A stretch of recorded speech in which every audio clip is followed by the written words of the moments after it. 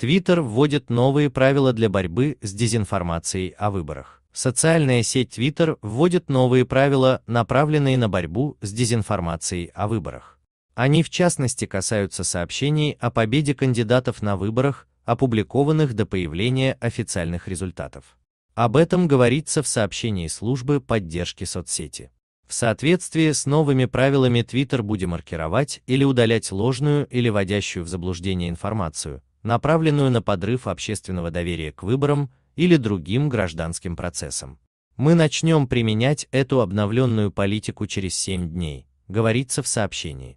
Теперь соцсеть будет удалять или помечать спорные утверждения, которые могут подорвать веру в сам процесс голосования, в том числе непроверенную информацию о фальсификации выборов, подделке бюллетеней или нарушениях при подсчете голосов.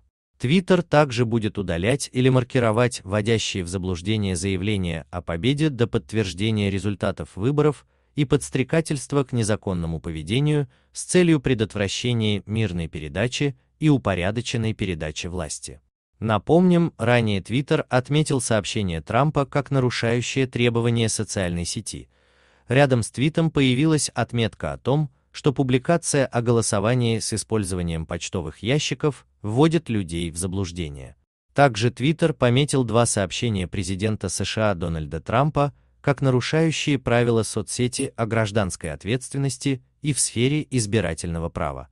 Кроме того, Twitter заблокировал видеоролик президента США Дональда Трампа из-за нарушения авторских прав.